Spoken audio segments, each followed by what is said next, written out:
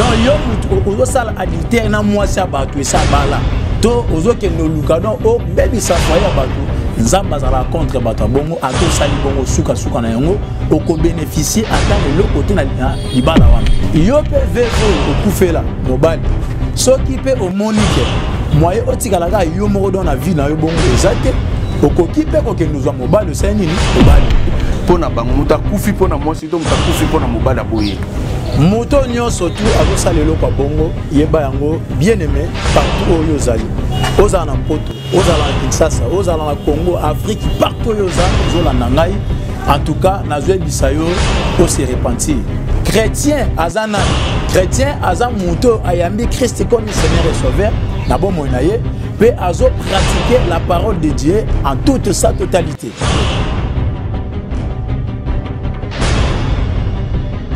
merci na bandeko nyonso bozwi libaku lisusu ya kolanda biso na chaîne na bino bolandaka chaîne évangélique siara mboyo tv ezali ngai ya bino évangéliste joel na émission na bino euh, invité à l'honneur yango lelo bo, nde bomonaka kaka invité ye moko ngai na nsima kamera awa liboso na biso tozali na évangéliste joel mbote mosali ya nzambe mbote pomo évangéliste joel tosepeli lisusu koyamba yo awa tokobandaka koyamba yo kaka voilà ndenge tosololaki bientôt baprédication ezobanda émission ekobanda ozala nde tosolola boye bana nzambe bolanda biso baprédication ezala après 3 jours après 4 jours bobanda ozwa mpenza baprédication tosukaki na émission oyo toleka question ezalaki boye est ce que ser oyo akufeli mobali to mobali oyo akufeli se eske akoki kobala lisusu motuna ezalaki wana eyano ezali ya yo merci beaucoup pour euh, la question euh, oyo euh, eza vraiment tellement importante parce que nayebi ke bana na nzambe nyonso bazwami partout dans le monde oyo bazolanda biso na intégralité nyonso na chaîne oyo sierra mboyo télévision vraiment boyokaki motuna oyo mosali na nzambe atunaki wana bozozela vraiment bozwa réponse e nyonso tu ekomama na kati ya makomi ya nzambe eloko moko te eleka kaka bongo inaperci selon les écritures donc nzambe ye nde moto aza instituteur ye nde moto aza mokolo mariage nzambe mpe nde moto abanda divorce tout ça c'est biblique nayebi ke na baprochaines euh, émissions nde toya kotalisa nzambe abanda mariage ndenge nini mpe divorce abanda yango ndenge nini poso lelo tozomona mpe badivorce ezosalema donc ce qu'il faut tokende otuna likomi divorce ezosalema selon nde tomona epa bato mais est-ce que eza na quel soubassement selon les écritures nde tokoyeba mpe na koexplike me yango wana te nde eza motuna oyo batunaki nga me motuna oyo batuni nga eza ke mwasi to mobali mobali akufeli mwasi to mwasi akufeli mobali estce akoki mpe kobala c'est ça vraiment la question maintenant nalingi na répondre selon les écritures parce que il faut que la parole nde eyebana koprime likolo na nyonso tu mpo lumière ekota epai na bana na nzambe moi je ne peux pas parler de moi-même parce que la bible dit il faut que la parole il ne faut pas que la parole soit une interprétation particulière mais il faut que les écritures s'interprètent elles-mêmes c'est ça nde yango eza très important oui, oui. totanga directement na mokanda 1 corinthien 1 corinthien oui chapitre 7 1 corinthien chapitre 7 totangi verset 8 oui. totanga verset 8 euh, ti na verset 9 oui, oui. après tokosaute lisusu tokende otanga directement euh, verset 39 mm. mais tobandi nao na verset 8 oui, oui. à ceux qui ne sont pas mariés et aux veuves mpo na baoyo nanu babali te na baveuve donc veuve c'est-à-dire mm. mwasi oyo akufeli mobali mm. aza na mobali te atikalaka ye moko mm. mais awa siko apôtre paul asangisi acombine deux choses à la fois à ceux qui ne sont pas mariés mm. et aux veuves na baoyo babala te na baoyo bakufela mibali donc baso bakufela mibali yokanda alobi mm. abi jeudi tu leur est bon de rester comme moi apesi bango toli abi soki ekoki kozala malamu ye azosepela na baveuve oyo bakufela mibali mpe na baoyo nanu babala te batikala kaka lokola ye apôtre paul abalaki te azalaki na mwasi te vi na ye mobimba abanda don osalela nzambe me ntango topusani tokei na verset 9 yoka akontinue mpo na loba abime Sur le manque de continence qu'il se marie, car il vaut mieux se marier que de briller. Abi soki ete bazangi bozeli na kati na bango, amoni ke apatiente, azeli mingi, amoni ke te te donc nakotikala boye te, il faut nabala.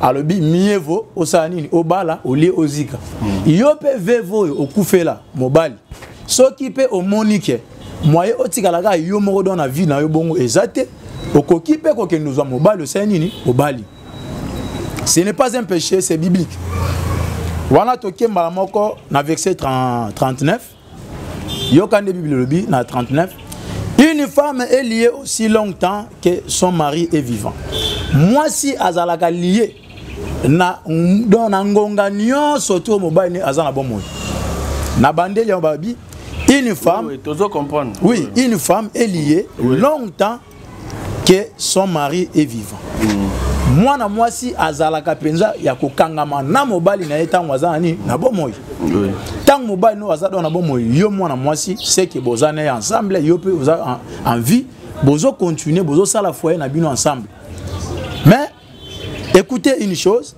la Bible dit mais si les maris mères soki mobali akufi mm. mais si les maris mères oui.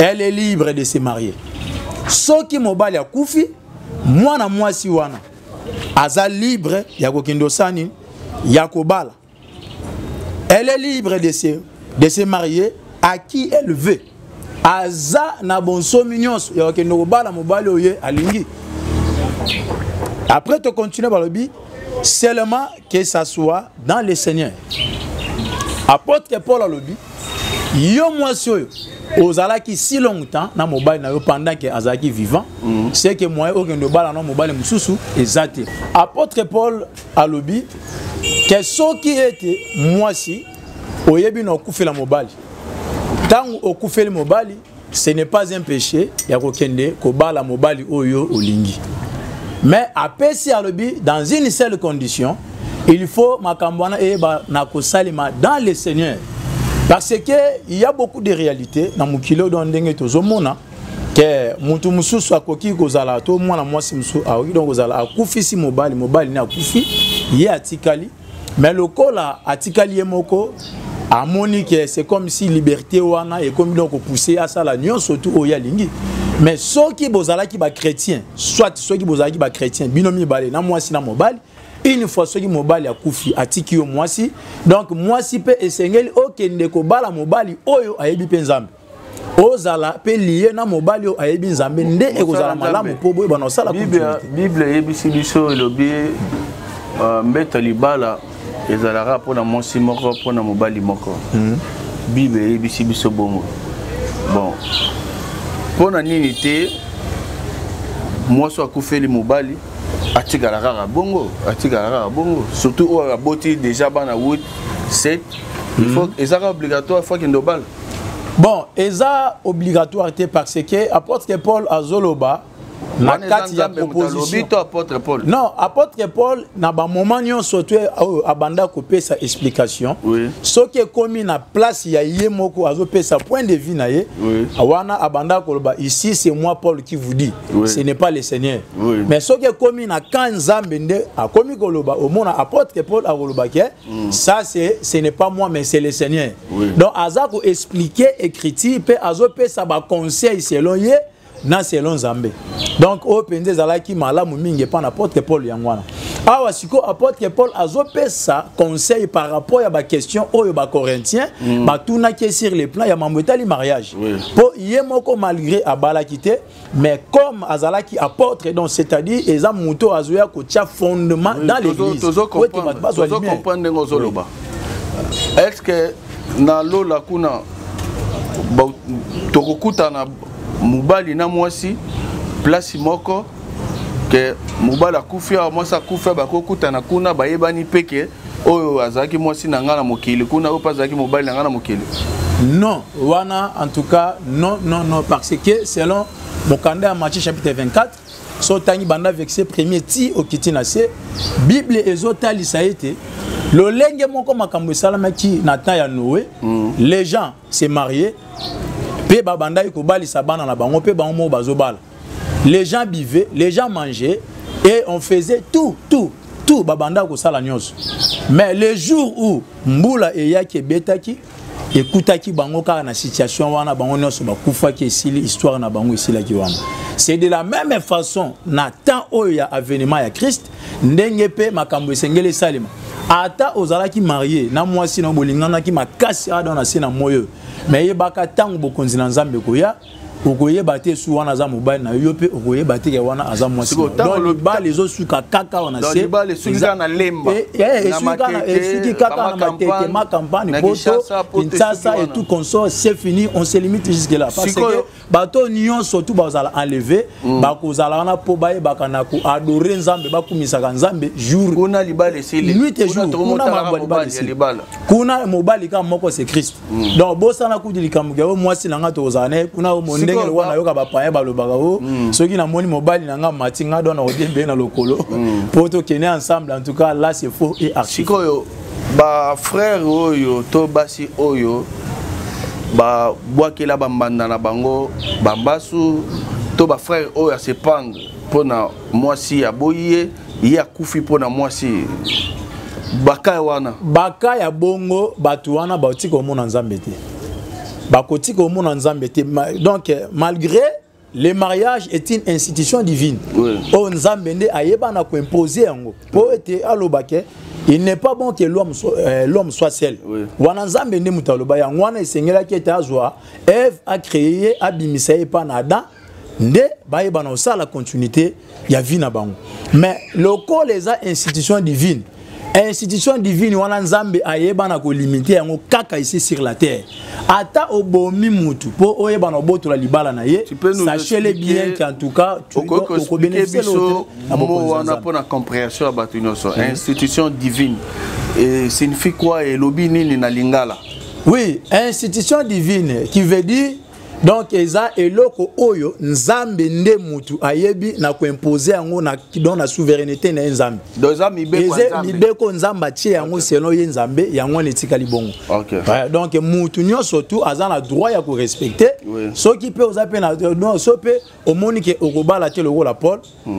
andima na ye abala te donc là ça dépend de vous mais soki omoni ke non il faut mpe nabala oui okoki obala à condition ke nzambe nde ayeba na kopesa yo baprincipe ndenge apesaka jeremibandeko wana oyo hmm. basepandaka mpo na mwasi bafille oyo batielaka baninga mosusu bapoison mpo na mobali mpo na bango moto akufi mpo na mwasi to moto akufi mpo na mobali aboye moto nyonso tu azosala eloko ya bongo yeba yango bien aimé partout oyo ozali ozala na mpoto ozala na kinshasa ozala na congo afrique partout oyo oza ozolanda ngai en tout cas nazoyebisa yo ose repentir kosala eloko wana te parce que nyonso tu ezalaka babien na basentiment nyonso oyo ya mokili ekotikala awa ezala bato mosusu bazolanda biso bazwi badeception oui parole na yo message na yo ekoki koedifie bango yango toza nango mposa sikoyo effectivement yango mpe nazoyebisa mpe ndeko moto babotoli mobali to ndeko babotoli mwasi en tout cas monde to mokili esuki wana te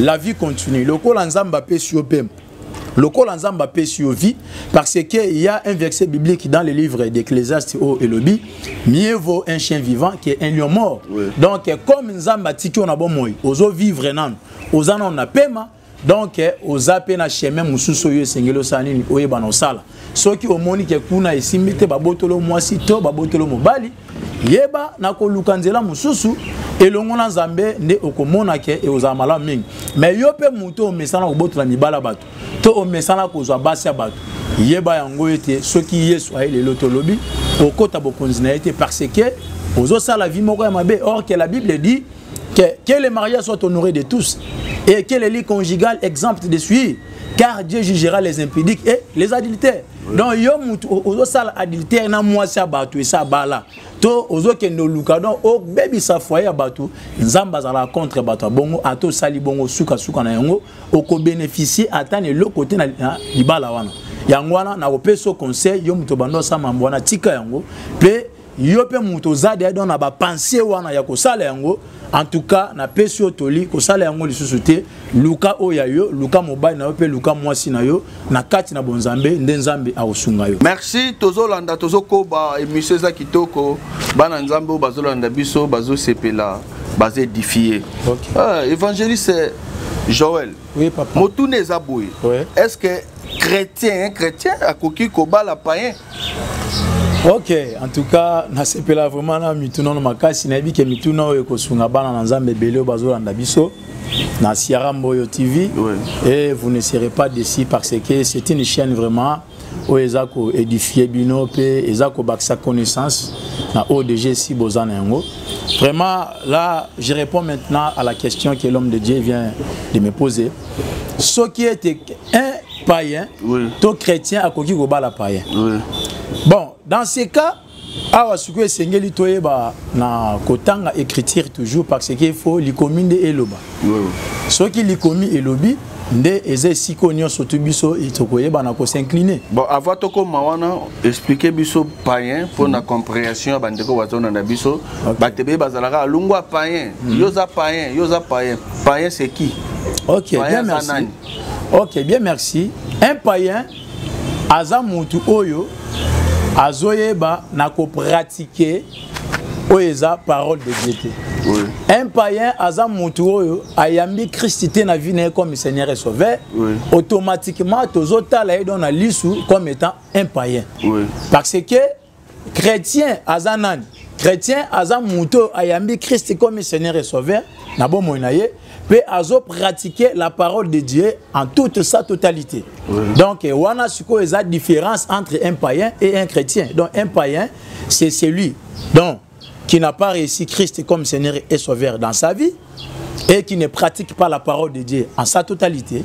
et un chrétien c'est celui qui a crié au seigneur jésus christ comme seigneur et sauveur et qui pratique aussi la parole de Dieu en toute sa totalité. C'est ça maintenant la différence entre un païen et un chrétien. Voilà, c'est quoi le chrétien Chrétien signifie quoi Chrétien. Chrétien, chrétien, c'est donc chrétien, c'est-à-dire comme Christ. Okay. Parce que chrétien vient du mot Christ. Oui. Eh, donc eh, eh, nous, tels que nous sommes des chrétiens, oui. et Sengele ete toyeba na ko pratiquer ba makambo Christ abanda kosala. Donc il faut tolanda kaka ndenge Christ abanda kosala.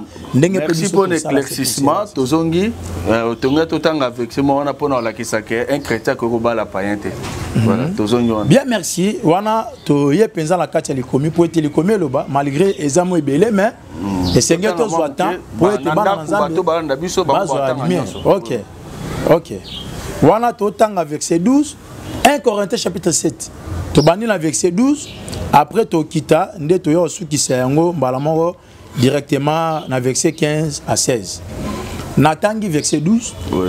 aux autres mpo na bamisusu ce n'est pas le seigneur c'est moi wana sikoyo paul eh? oui. azoloba abi mpo na bato mosusu mm. eza nzambe te moto azoloba ça c'est moi paul qui vous dit oui. c'est paul qui vous dit mm. si un frère a une femme non croyante yoka frère eh? oui, oui. oyo oh, ayamba yesu na vie na ye azosalela yesu oui. mais aza na mwasi oyo aza non croyante oui. oyo oh, ayebi yesu te abongola mpe motema te yoka nde bilobi et qu'elle consente à habiter avec lui qu'il ne la répudie point soki frère oyo oh, oza chrétien osambelaka obali mwasi oyo aza non croyante asambela nzambe te Apôtre Paul alobi kobengana mwasi wana te. lokola aza païen mm. soit asambelaka nzambe te ayamba mpe yesu te comme seigneur et sauveur dans sa vie oui. kobengana ye nanu te yo kende na ye nanu bongo oui. encadre nanu bongo talisa ye yesu oyo osalelaka oui. peut-être na nzela na yo mm. akoki mpe kobongola motema akomi converti oui. et akomi mpo osalela nzambe oyo osala nini osalelaka oganie ame mobimba omemi epa na nzambe nzambe akosepela na yo ozo comprendre oui, donc wana réponse topesi yango wana verset 13 balobi boye et si une femme a un mari non croyant soki mpe epa na mwasi mm. donc epai na mwasi mpe de la même chose si une femme a un mari non croyant et qu'il consente à habiter avec elle oui. qu'elle ne répudie point son mari mwasi mpe abengana mpe mobali na ye te ata obala mobali aza payen aza non croyant azosalela nzambe te kobengana ye mpe te zala na ye kaka bongo nanu oteya ye mpe nzambe oyo osalelaka soki omoni ke abongoli motema ake aye na ka na yo mm. là c'est bien nzambe azwi lokumu mpo ete soki ame moko ebongoli motema lola eh, esalaka fete mosala nzambe ozo continue oui. est ce que c'est obligatoire ndenge yo oza serviteur de dieu mm. il faut mwasi na yo automatiquement ye mpe azala pasteur nde tobakaki mama pasteur ya mwasi yango te mais akoma mpe pasteur non encadré mpe na église non na makambo etali ministère oui. wana soki tokoti na aspect mosusu oui. parce que le ministère oui le ministère oui. c'est du fait oui. avec la avec la chrétienté soit être un chrétien oui. soit être un frère soit oui. être une croyante oui. Mm. c'est tout à fait différent avec le ministère oui. na ministère nzambe abengaka so nzambe abengi yo mobali oui. seki abengi yo moko oui. soki oza na mwasi pembeni mm. c'est la femme maintenant nde esengeli asoutenir yo oui. po ete ministère oyo nzambe apesi yo vision wana na mission oui. nzambe apesi yo oui. eyebana koaboutir na quelque chose selon ndenge nzambe akooriente bino la femme oyo akoya kosoutenir yo mm. eza obligatoire fo koma pasteur non lelo sur 100 Euh, dans, na 100% na baeglise eza na congo toza na 85% oyo basi ya bapaster bakomi bapaster ça en tout cas je suis contre ça parce que eza bongo te oui. eh, soki nzambe abengi yo mobali apesi yo appel abengi yo mobali un ministre de dieu oui. esili nzambe asuki ana ngai na opesa yo exemple moko oui, oui.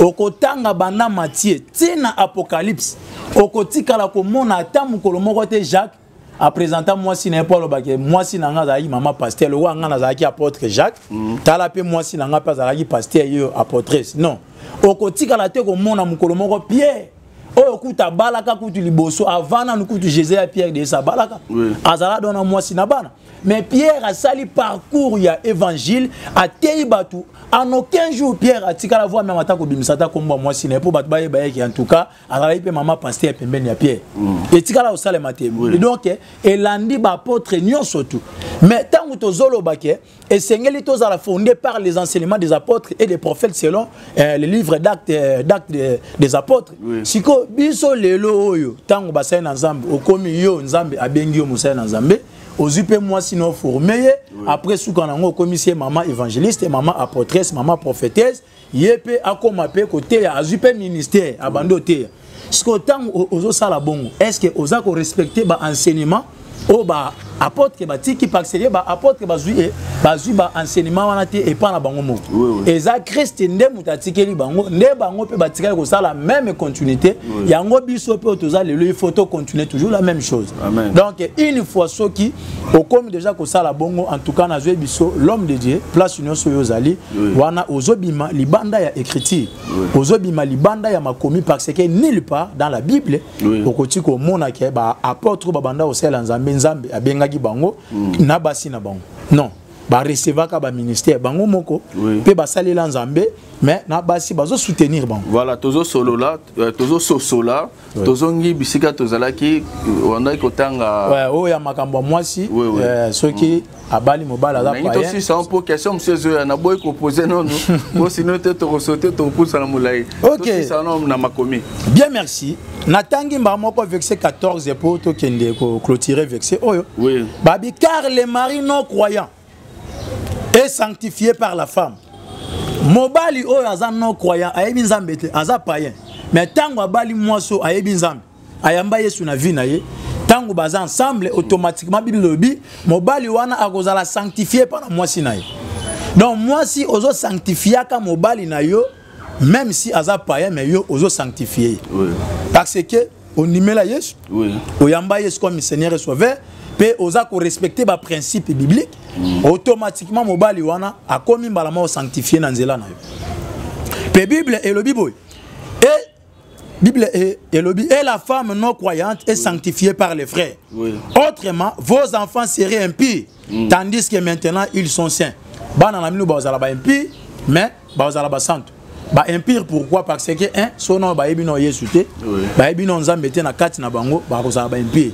Mais soki ba ebino Nzambe, na une partie ya sanctification babanda kozwa epai ya mama na bango oui. to epai ya papa na bango nde ntango bakoyeba nzambe automatiquement loi wana esai nini ekwei epai na bango mpo na conclusion ya question mm -hmm. ezali un chrétien akoki kobala moto nano ayebi nzambe te mhm. mais nakolandela ye mpo arejoindre ye ah yango sikoyo kasi réponse ka yango yango réponse yango conclusion moko direct Eh, tosala eh, conclusion mwa direct tolobi mwa ntan molai eh, ok c'est bien mpo toconclure totangi mbaa moko 15 16 si les non croyants se séparent qu'ils se séparent oyoki si les non croyants se séparent qu'ils se séparent soki payen obalaki payen mm. bokabwani na bino mm. etali nango nzambe te oui. epai na nzambe ce n'est pas un péché bakabwana ayebi bino te parce que eh, na kati na bino mm. ata moko ayebi nzambe aza te ata bokabwani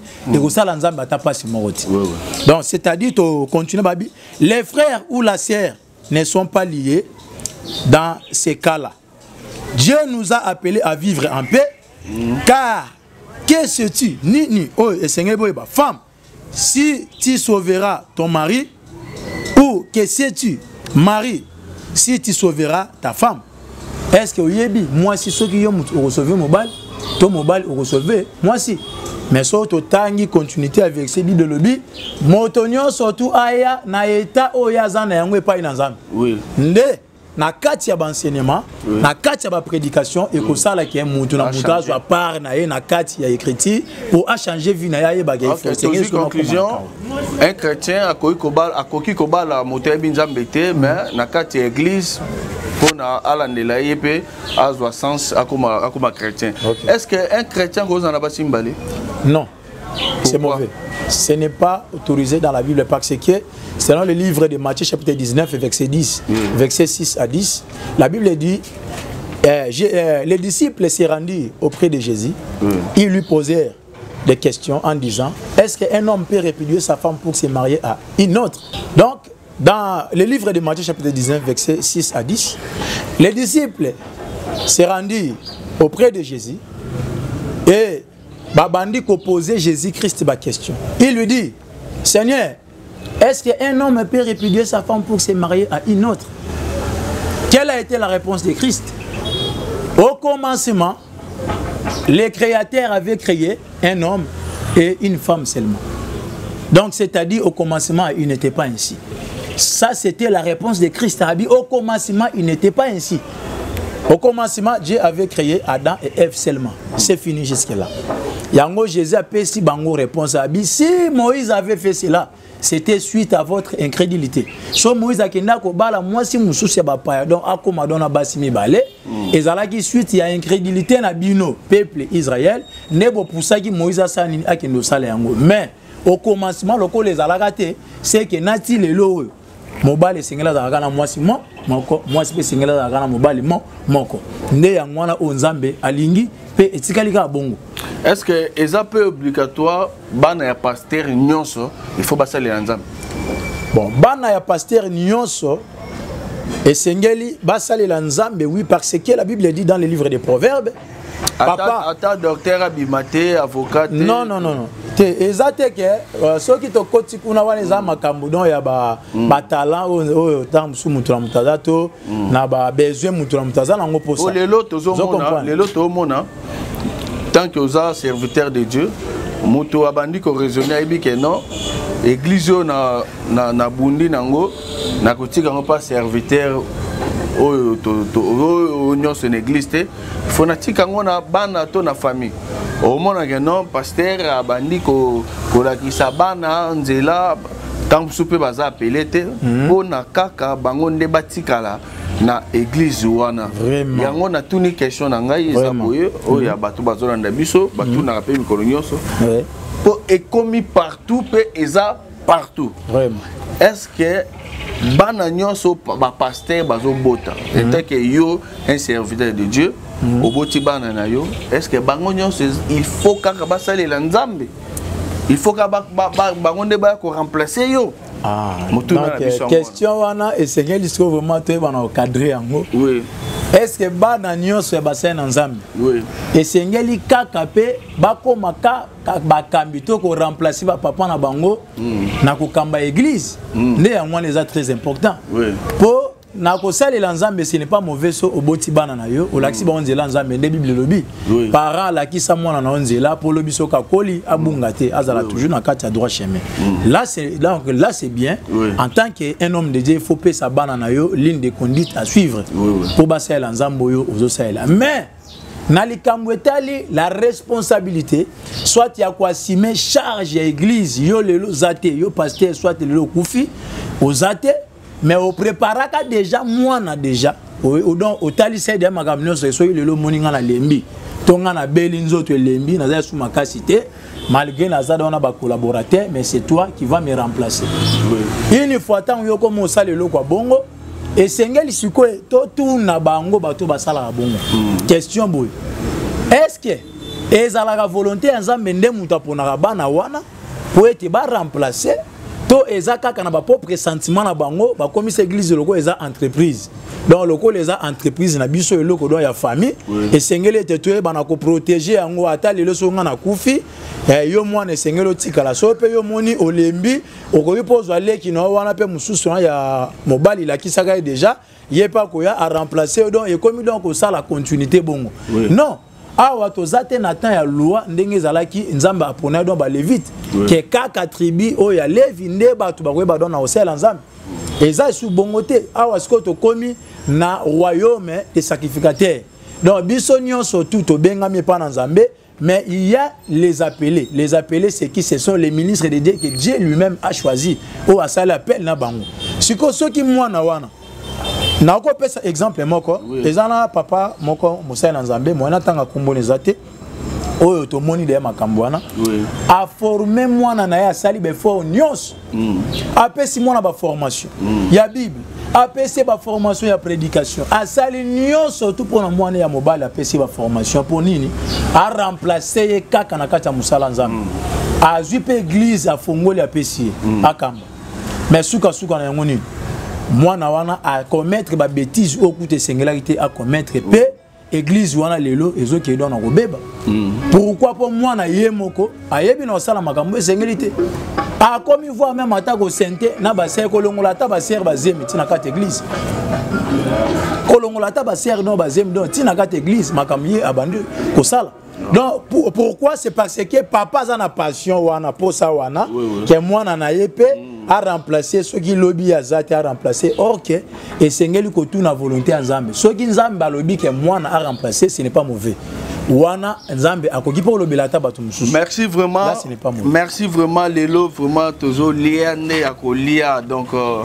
awa bino bato bozolanda biso soki vraiment bamatière oyo ekoti bino te fo bobenga basala nzambe babondela mpo na bino seke bandoki ya famille na bino babusha bino bisika bamatière efandaka babondela mpo na efungwama bolia bilei oyo malamu motuna mpo na koclotire ya suka mpo na clotire mission est ce que na famille ya mosali ya nzambe to na libota tolongoli famille mm. na libota bana oyo oboti est ce que c'est normal okufela oh merci vraiment en tout cas réponse oyo nga na opesa eza ke wana tosuki awa tokosolola yango na émission ekoya est ce que c'est normal un serviteur de Dieu akokufela mwana mpo ani te est-ce que c'est normal mpo ani akokufela tokosolola yango na émission oyo liloba eza na epa na yo mpo na koclôture émission opesi adresse numéro tula ok bien merci bien aimé dans le seigneur vous qui nous suivez de partout